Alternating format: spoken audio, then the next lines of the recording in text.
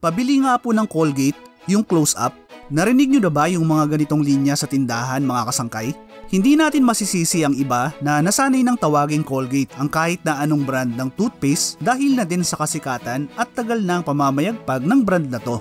Pero syempre hindi mawawala sa kwentuhang toothpaste ang matinding kalaban ng Colgate na close-up. At kung interesado kayong malaman ang kwento sa likod ng mga nakalakihan ng nating toothpaste brand, yan ang pag-uusapan natin sa video na to mga kasangkay.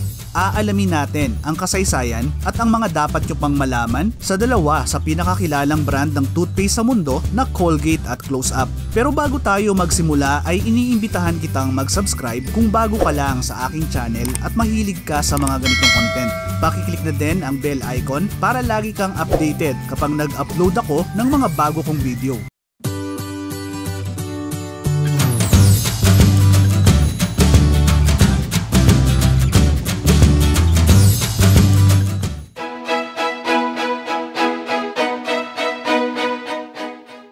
Mga ginagamit ng panglinis ng ngipin ang mga sinaunang tao sa Babylonia at Egypt mga kasangkay. Ito yung tinatawag nilang chew stick na mula sa mga maliliit na sanga ng puno. Nginunguya ang chew stick para maging buhaghag ang dulo na pwedeng gamitin na panglinis ng ngipin at ang kabilang dulo naman ay ginagamit na toothpick. Ang mga Chinese ang pinaniniwalaang nakaimbento ng kauna-unahang bristle toothbrush noong 15th century kung saan ay nilalagyan nila ng balahibo ng baboy ang mga buto o bamboo para gawing sipilyo.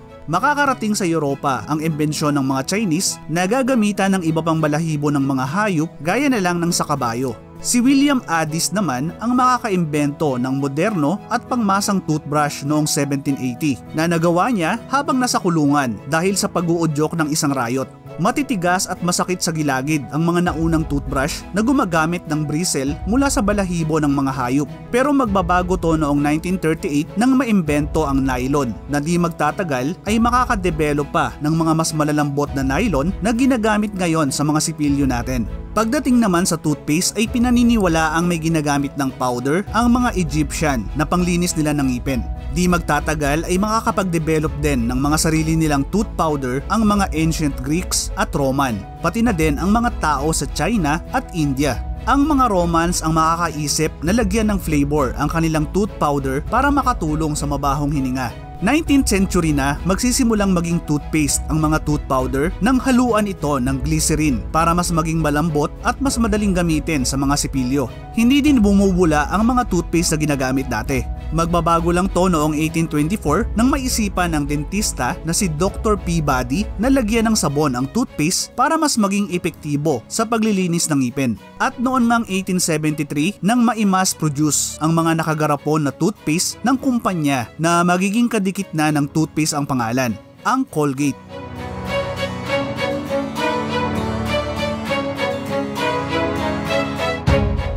Bagamat mas kilala na ngayon sa kanilang mga oral care product, alam nyo ba mga kasangkay na naunang nakilala ang Colgate sa kanilang mga sabon? Magsisimula ang kwento ng brand sa founder nito na si William Colgate, isang English immigrant sa Amerika na nakapagtrabaho bilang apprentice sa mga paggawaan ng sabon at kandila. Noong 1806, dahil na din sa mga nakuhang karanasan sa trabaho, ay naisipan ni Colgate na magtayo ng sariling shop sa New York City na gumagawa at nagtitinda ng mga sabon, kandila at starch. Pinangalanan niya ang kumpanya na William Colgate and Company na sa simula ay naging mabagal ang takbo. Magbabago to noong 1817 nang simula ng Colgate ang agresibong advertising sa mga dyaryo na magiging dahilan sa pagtaas ng kita nito. Dahil sa tagumpay ay nakapagpagawa pa si Colgate ng mas malaking pabrika ng sabon at starch noong 1820. Pero sa kasamaang palad ay mamamatay si William Colgate noong 1857 at papalitan ng anak na si Samuel Colgate. Sa ilalim ni Samuel ay babaguhin ang pangalan ng kumpanya at tatawaging Colgate and Company. Magpapatuloy pa ang expansion ng Colgate at magpapakilala pa ng mga bagong produkto sa merkado gaya na lang ng sumikat na perfume soap na Cashmere Bouquet na magiging isa sa pinakamatagumpay na global product ng kumpanya.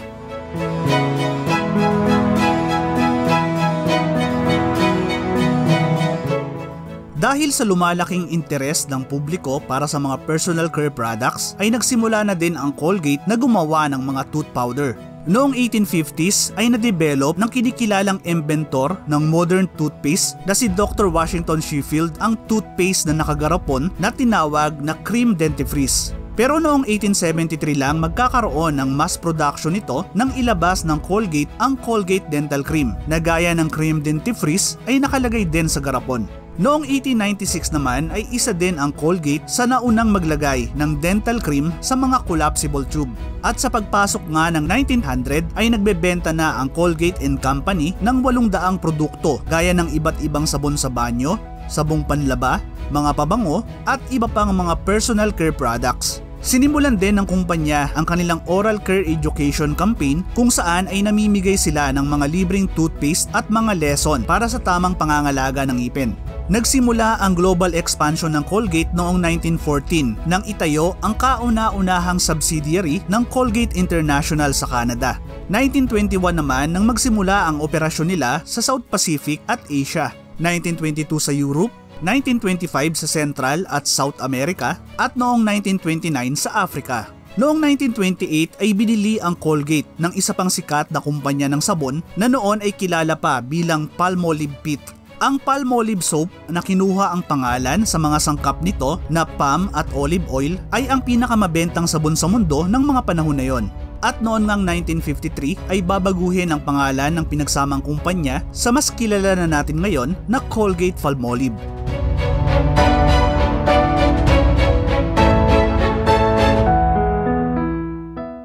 Taong 1926 nang itatag ang Palmolive Company Philippines sa Binondo, Manila na nagsimula lang sa limang empleyado. Ang mga naunang produkto nito sa bansa ay ang Pompeia Cosmetics, Octagon Laundry at Crystal White Laundry Bar. At nang magsama nga ang Palmolive at Colgate noong 1928 ay nakarating na rin sa bansa ang mga produkto ng Colgate gaya ng Colgate Ribbon Dental Cream at Cashmere Bouquet Toiletries. At simula nga noon hanggang ngayon ay Colgate na ang nangungunang brand ng toothpaste sa Pilipinas. Kaya naman di nakakapagtaka na marami sa atin ang nakasanayan ng tawaging Colgate ang kahit na ano pang brand ng toothpaste. Mas lalo pang makikilala ang brand dahil sa mga nilabas nilang print at TV ad sa bansa gaya na lang ng 1972 commercial ng Colgate Dental Cream with Gardol na itinatampok ang superstar na si Nora Honor. Think of beautiful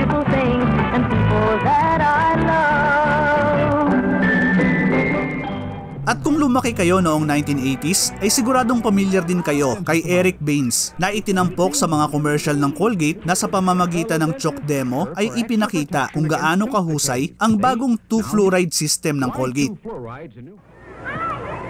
Now these kids will have extra protection against tooth decay. Here's a breakthrough in tooth decay protection. New Colgate with two fluorides gives you the best tooth decay protection we've ever seen. And for kids like these, Dahil sa madalas na paglitaw sa mga Colgate commercial ay makikilala nga ng mga Pinoy si Eric Baines at marami ang magiging interesado kung totoo nga ba tong dentista o aktor lang na kinuha ng Colgate. Well, para sa mga interesado, si Eric Baines ay hindi talaga dentista o aktor. Siya ang Worldwide Director for Research and Development ng Colgate na nakabase sa New Jersey sa Amerika. Maging siya ay di makapaniwala sa kasikatang nakuha niya dito sa Pilipinas dahil sigurado akong marami pa din sa mga batang 80s ang kilala pa din siya hanggang ngayon. Kayo ba mga kasangkay? Napanood nyo din ba yung mga commercial ni Eric Beans dati? Ano pang mga commercial ng Colgate ang tumatak na sa inyo at di nyo makakalimutan? Pakishare naman sa comment section sa baba.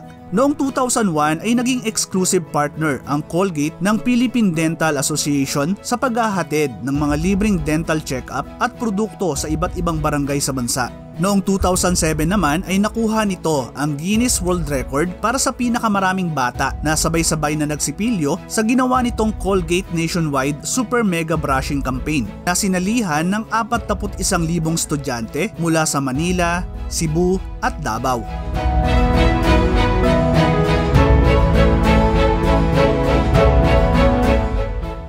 Napansin nyo din ba mga kasangkay yung pagkawala ng mga Colgate products sa SM Supermarket? Nalaman ko lang din to dahil sa mga nag-comment dito sa channel. At dahil tungkol naman sa Colgate ang pinag-uusapan natin ngayon ay magandang pag-usapan na din natin kung bakit nga ba nawala ang mga Colgate Palmolive product sa mga tindahan ng SM. Ayon sa nabasa kong article ng Inquirer ay kalagitnaan pa ng 2009 nangyari ang paghihiwalay ng Colgate at SM. At ang dahilan ay ang di pagkakasundo ng dalawa sa billing. Walang nagpatinag sa dalawang kampo at mula nga noon ay hindi na naayos ang relasyon ng dalawa na magiging dahilan ng pagkawala ng mga toothpaste ng Colgate at mga sabon at shampoo ng Palmolive sa mga tindahan ng SM. Pero apat na taon lang to tumagal mga kasangkay dahil noong 2013 ay muling bumalik ang mga produkto ng Colgate Palmolive sa SM. Napagtanto siguro ng dalawa na pareho lang silang talo sa nangyari dahil aminin man nila o hindi ay kailangan nila ang isa't isa. Sa ngayon nga ay patuloy pa din ang pamamayagpag ng Colgate sa merkado. Pero hindi gaya dati ay mas marami na tong kakompetensya ngayon gaya na lang ng mga gawang Pinoy na Happy, Beam at Unique. Nandyan din yung mga international brand gaya ng Sensodyne, Aquafresh at Pepsodent. Pero sa mga brand ng toothpaste ay isa lang ang masasabi nating nakasabay sa kasikatan ng Colgate at lagi nang nakadikit sa pangalan nito, ang Close Up.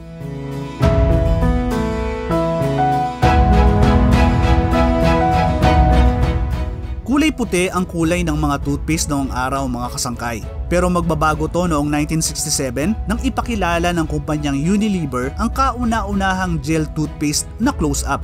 Alam ng Unilever na para matapatan ang Colgate ay kailangan nilang umisip ng kakaibang brand identity. Kaya ginawa nila ang kulay pula at clear gel toothpaste na kauna-unahan ding toothpaste na pinagsama ang kapangyarihan ng toothpaste at mouthwash. Sa simula pa lang ay pinosisyon na ng Unilever ang Close Up bilang toothpaste para sa mga kabataan. Close Up ang napiling pangalan para dito dahil isa sa mga misyon ng brand ang bigyan ng kumpiyansa ang mga tao na magkaroon ng mabangong hininga para sa mga pangmalapitan at personal na sitwasyon. Sisikat at makikilala ang brand hindi lang sa Amerika kundi maging sa iba't ibang parte ng mundo. Taong 2003 nang ibenta ng Unilever sa Charge and White Company Incorporated ang licensing rights ng Close Up sa US at Canada. Pero Unilever pa din ang humahawak ngayon ng Close Up sa iba't ibang parte ng mundo gaya ng Peru, Argentina, Indonesia, Vietnam, Sri Lanka, India, Iran, Brazil, Russia, Nigeria, Bangladesh at dito sa Pilipinas.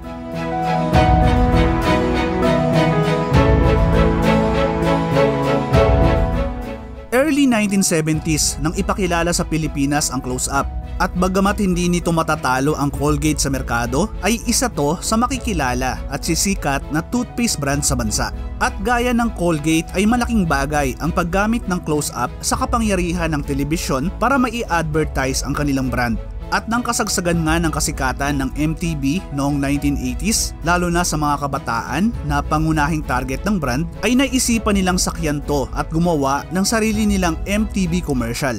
At noong 1987 nga nang ilabas ang kauna-unahang MTV type commercial ng Close Up na pinamagatang Close to You. Maraming namangha at natuwa sa commercial na isa na yata sa pinakamahaba sa kasaysayan ng bansa na tumakbo ng dalawang minuto at labing pitong segundo. At dahil sa tagumpay ng unang commercial ay nasundan pa to ng dalawa pang MTV style commercial at nagkaroon din ng CD compilation na pinamagatang Close Up Love Songs. At syempre, andyan din yung isa pang sumikat na commercial ng Close Up na tinatampok ang kanta ni Gino Padilla na Closer You and I na pinalabas naman noong late 80s hanggang early 90s. But my love couldn't wait much longer Just can't forget the picture of your smile Cause every time I close my eyes Makikilala din sa bansa ang Close Up dahil sa iba't ibang event at concert na inoorganisa nito para sa mga kabataan. Kayo ba mga kasangkay, napanood nyo din ba nung 80s yung mga MTV style commercial ng Close Up? Ano pang mga commercial at event ng Close Up ang di nyo makakalimutan? Pakishare naman sa comment section sa baba. Maraming salamat sa muling pagsama hanggang sa dulo ng video natin mga kasangkay. Ano ang masasabi nyo sa kwento ng Colgate at Close Up? Mas madalas ba kayong gumamit ng Colgate o mas trip nyong gamitin yung Close Up?